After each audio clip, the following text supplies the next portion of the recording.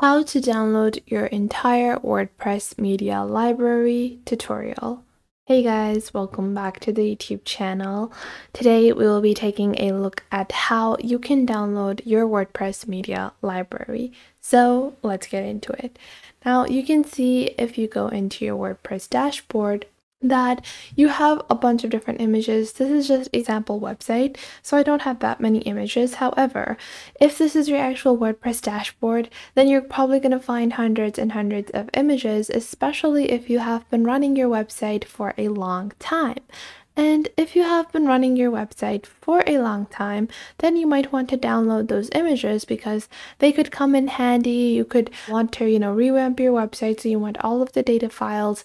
Maybe you want to transfer to another website builder. So you want all the media files. So how can you do that? Well, it's very simple. And Make sure to watch this video till the end because I will be showing you guys how to make your WordPress media dashboard look like this instead of having a basic dashboard like this and how you can categorize images before you download them.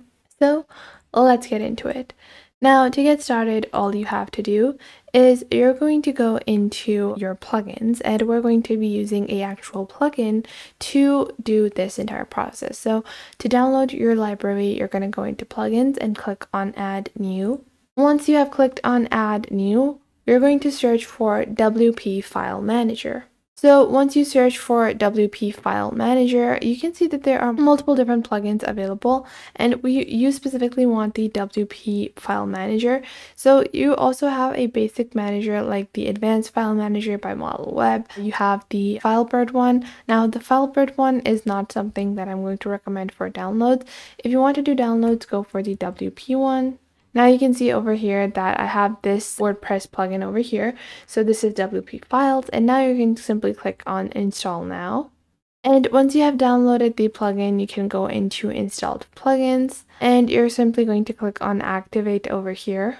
Once you have activated your plugin, you can click on let's get started. And now you can begin importing data. So we're going to skip this step and you can also connect other files over here as well. Now, to just make your experience better, uh, you can allow certain settings, but you don't really need to do that.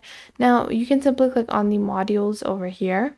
And now you can see you have multiple different modules. So you have lazy load, you have image watermark, you can also do media download. So you're just going to click on your WordPress media over here.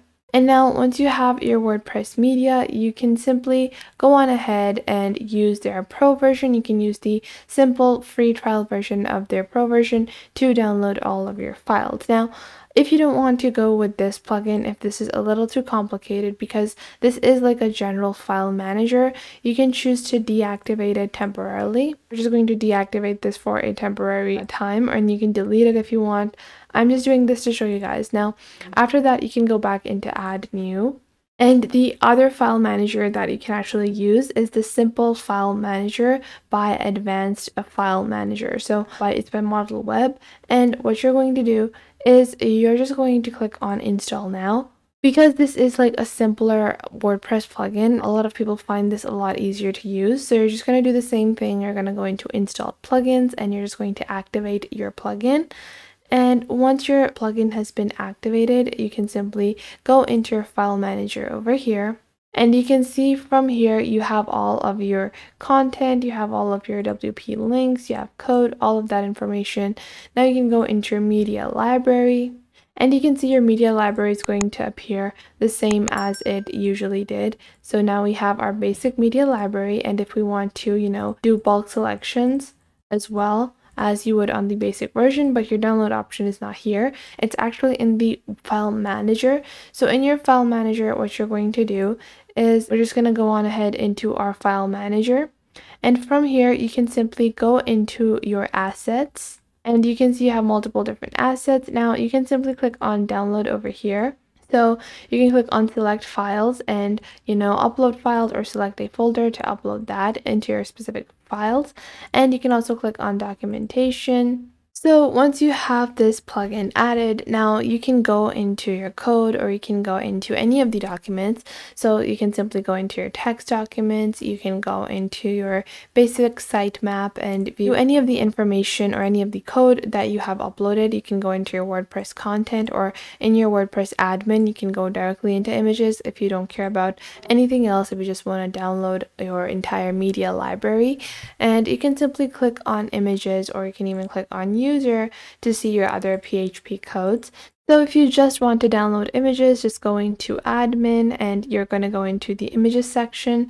Now, once you have gone into the images section, you can simply do a selection and you can do multi-select. So you can do bulk selection over here like this with your mouse.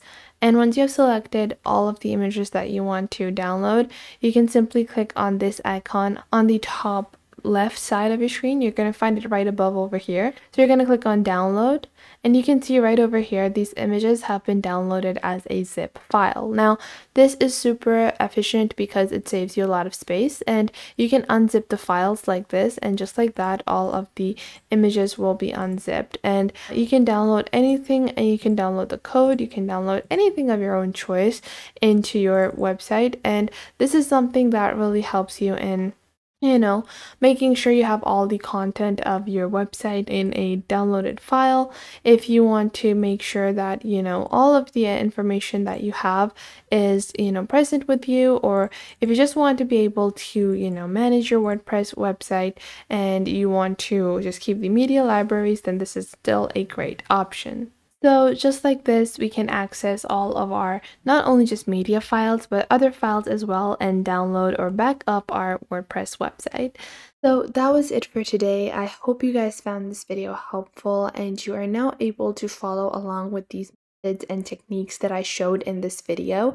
And if you found them helpful, make sure to share them with someone you might think that may need these. Share them with your friends, with your family, with your cousins, and share them with any business partners that you might have. And it might help you guys a lot to know all of these techniques and to follow along. And if you enjoyed this video, I would recommend that you please leave a like. And if you have any questions regarding this video, regarding any other video, or regarding any social platform, then you can definitely ask me in the comments down below. And I will try to answer as soon as possible because that is the point of our YouTube channel. I want to show you guys on how to glide through these platforms and how to easily navigate and fulfill the purposes that you want to do with these social platforms. And if you have any details that you might want to know, any suggestions, any improvements that you think that I could add on to these videos, then please do leave them in the comment box down below and I will make future videos according to those.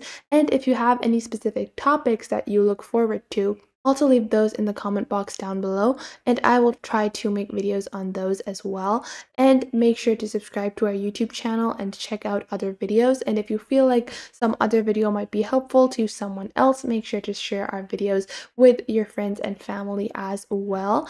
And if you find that there is something missing, I will try to figure out a way to uh, integrate more accurate content according to your needs onto the channel. So make sure to tell me if you find anything missing. So that was it for today. Make sure to leave a like and subscribe to the YouTube channel and I will catch you guys in the next video.